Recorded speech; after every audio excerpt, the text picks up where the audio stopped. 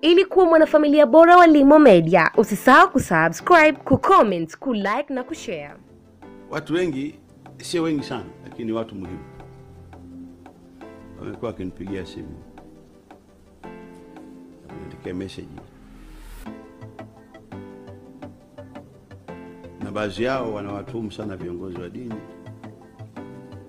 Kwa viongozi wa dini wanaacha mambo yako shagara bagara, hawaingilii kati mambo, na wanasema hasa katika mambo ya kisiasa,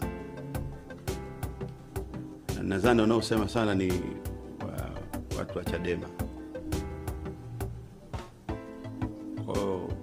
Chochote mtakachosema nyinyi watu wa dini, wanafiki wakubwa, mwingili kati, mbona hamsemi?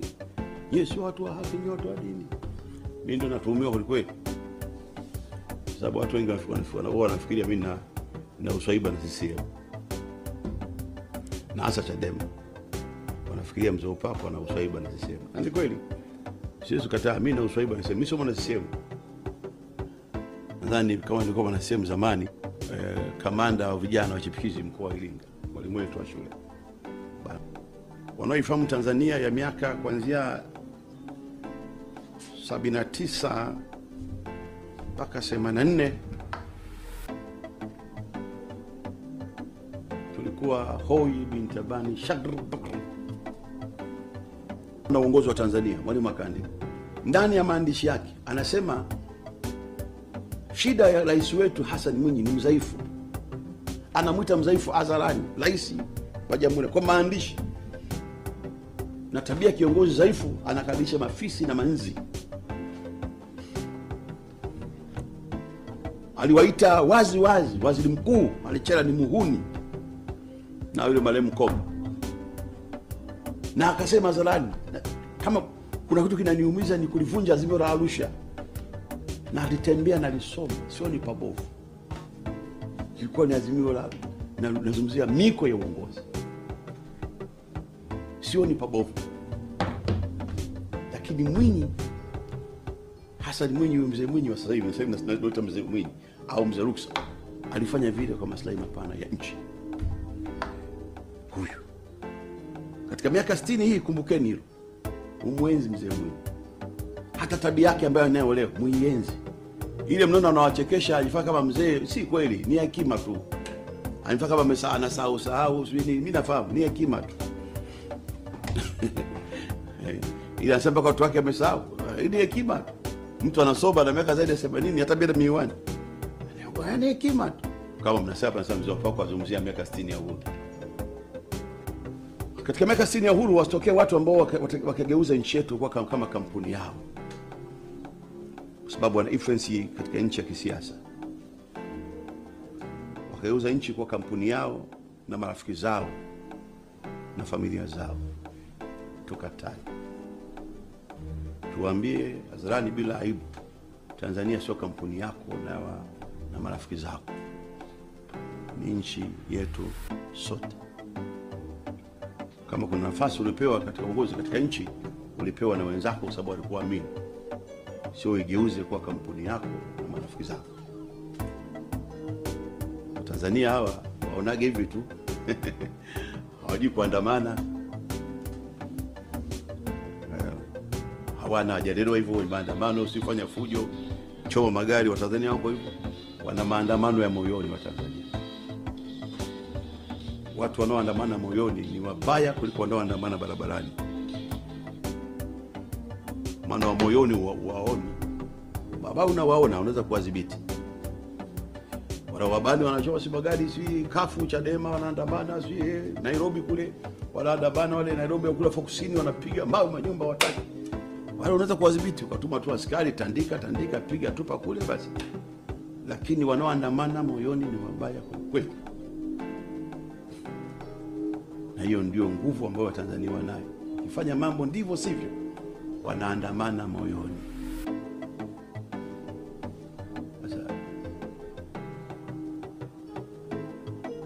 Tuheshimu miko ya nchi yetu.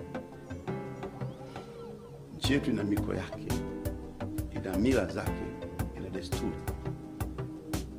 Desturi hizo na miko hiyo na utamaduni huo, napoongea utamaduni sina maana utamaduni wa kupiga ngoma. Kupitia utamaduni huo na busara nyingi tunatunga sheria, sera, katiba na kadhalika na kadhalika, na- na tunaoanisha mambo ya nchi yetu tusokisiwa na wenzetu wa Marekani wanasemaje katika hili, Wakenya wa- katika hili, ya Rwanda, wa Sweden wanasema nini, wa Canada wanasema nini, afu na- nakaa pamoja tunatengeneza kitu vile kule kinakuwa sheria, lakini msingi wake ni mila zetu, miko yetu ambayo tumekuwa nayo kwa miaka 60 sasa tangu tumekuwa nchi huru. Lakini kama Mbowe si gaidi, ametushinda hoja za kisiasa, tukaamua tumtenzee kesi ya ugaidi ili kumziba mdomo sio tu hatuitendei haki, hatumtendei haki Mbowe, hatuitendei ka haki sifa na historia nzuri ya nchi yetu yenye undugu, utu, umoja na mshikamano. Tanzania sio nchi ya wahuni, ni nchi ya watu wenye utu. Tanzania sio nchi ya wahuni wahuni ndio wanauana bila sababu, kwa sababu ya siasa, wanapigana risasi, wanafungana. Lakini Tanzania hatuko hivyo. Kama tuliua, tuliua, tulijiridhisha kwamba Nduli Diamini na askari wake wanastahili kuondoka katika mipaka ya nchi yetu. Ni hatari kwa usalama na heshima nchi yetu hata Mungu alikuwa na sisi, ndio tulishinda vita vya Kagera waovu wengi tu tuliwashinda, lakini hivyo hatuko hivyo sisi. Sisi ni watu wa uwana, tuna utu, tuna undugu. Tumefundishwa kusema kweli, uongo kwangu ni mwiko, na fitna kwetu hapana. Tanzania sio nchi ya wahuni.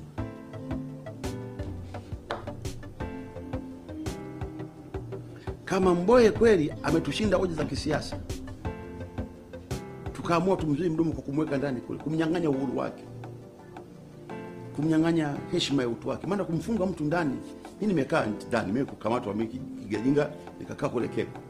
Keko si mahali pa kumweka mtu ambaye hastahili, au Ukonga ni mahali pa mtu mwalifu Nilipokuwa Mikeko nilikuwa nalala saa kumi na moja moja mmelala siku nyingi, nalala hapo, mnakunya hapo hapo. Si mahali pa kumweka mwenzako. Kwa sababu tu, na unajua kabisa huyu ha, hana kosa hilo,